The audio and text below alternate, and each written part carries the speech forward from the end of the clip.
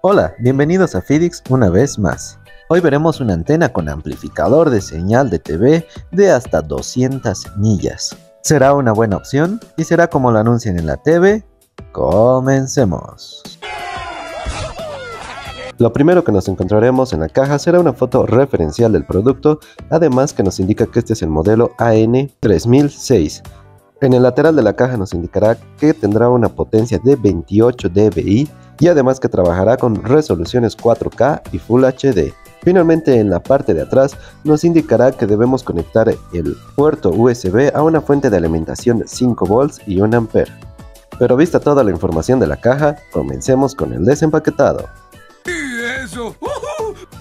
Esta poderosa antena nos indica que tiene una potencia de 28 dBi. Para que te hagas una idea, una antena de conejo normal tendrá una potencia entre 2 a 5 dBi como máximo por lo cual con esta antena nos encontraríamos con hasta 6 veces esa potencia. Y finalmente este será todo el contenido de la caja, en el cual a primeras nos encontraremos con la antena que tiene un tamaño bastante considerable y grande, la cual la podremos empotrar en la pared o en alguna superficie porque veremos que nos viene con los tornillos y los soportes para empotrarla. También nos vendrá con un adaptador para televisiones antiguas o por ejemplo DVDs portátiles y televisiones portátiles. Finalmente nos encontraremos con su manual de usuario, el cual nos indicará que podremos usarlo tanto en modo vertical como en modo horizontal. Además, también nos indica que para que el amplificador de señal esté funcionando y absorbiendo la señal en 360 grados, siempre tendrá que estar conectado a una fuente de alimentación de 5 volts y 1 ampere. Finalmente, el último de los accesorios que nos encontraremos será con una cinta que es de pegamento doble cara, con la cual podríamos pegarlo a la pared o a alguna otra superficie. Y ahora sí que sí, finalmente nos encontraremos con la antena y veremos que nos vendrá con un cable coaxial de 3 metros, lo cual está muy bien. Y además también nos encontraremos con otra pequeña antena aquí, la cual podremos regularla tanto alargándola como en los diferentes grados de inclinación. Además veremos que también el amplificador de señal vendrá soldado al cable y este no es extraíble como en el caso de las otras antenas que revisamos anteriormente en el canal. En lo personal hubiera preferido que el amplificador de señal sea extraíble.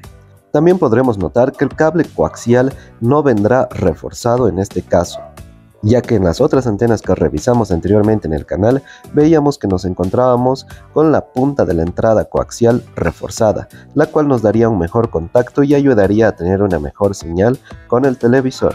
Por lo cual, al menos para mí, sería otro punto en contra para este modelo de esta antena. Pero continuemos revisando la antena y como veremos tendremos una base extraíble que simplemente tendremos que jalarla para retirarla o bien colocarla en el uso vertical tanto como el horizontal. Además también podremos usarla sin esta base. Para usarla en modo vertical veremos que en la parte de abajo nos encontraremos con una ranura en la cual irá esta base. El método de colocarla es simplemente haciendo presión y ya estará lista para usar. Algo que me pareció un poco extraño de esta antena es que nos encontraremos con esta otra antenita en la parte de atrás, la cual será regulable como ya mencionamos antes en altura y también en los grados de inclinación. ¿Será que funciona esta antena como la promocionan en sus anuncios? Procedamos a las pruebas y a unas pequeñas comparaciones con antenas tradicionales como por ejemplo la antena de conejo para lo cual primero utilizaremos la antena de conejo y vamos a proceder a grabar canales para ver cuántos canales nos encuentra, tanto digitales como analógicos. Y luego compararemos la recepción de los canales analógicos y digitales con la nueva antena. Como vemos ya está acabando de sintonizar los canales esta antena normal de conejo y veremos que nos ha captado 11 canales digitales y 13 canales analógicos. Y si nos vamos al apartado de la calidad de imagen, veremos que en los canales analógicos estas antenas de conejo se portan muy mal, ya que la imagen que nos otorgan es bastante lluviosa y por más que la movamos no podemos conseguir una buena recepción. Esto es debido a que esta antena tiene una potencia de dBi de 3 a 5 como máximo.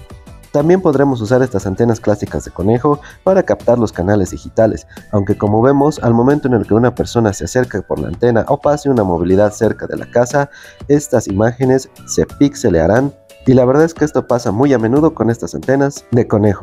Pero ahora sí, finalmente vayamos a probar esta nueva antena con un amplificador de 200 millas. Para enchufarla simplemente tendremos que conectar el coaxial en la entrada de antena del televisor Y en caso de que nuestra televisión tenga puerto USB, podremos conectarlo ahí para alimentar el amplificador, ya que tiene un consumo de 1 ampere y prácticamente cualquier televisor puede alimentarlo.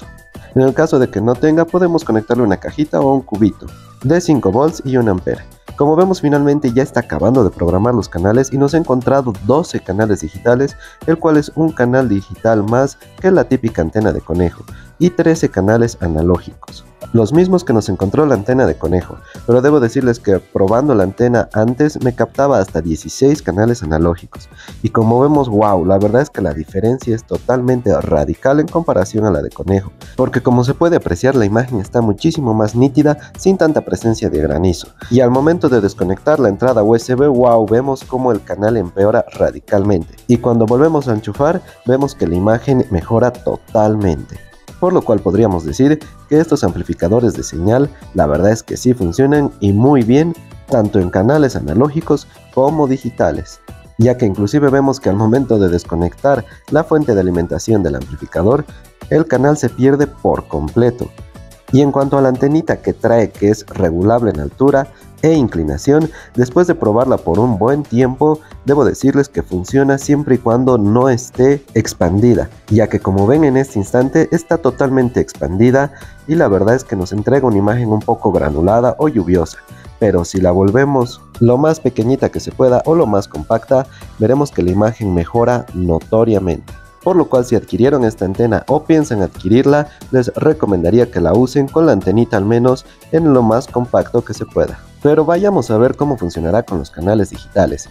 Y la verdad es que capta una muy buena señal, y al momento de desconectar el amplificador veremos que la imagen se pausa por unos momentos y retomará pero pixeleada en ciertas ocasiones. Mientras que si volvemos a conectar el amplificador al puerto USB veremos que la imagen mejora muchísimo e incluso ya no tendremos interferencias en el caso de que movamos la antena o una persona pase cerca de la antena o alguna movilidad.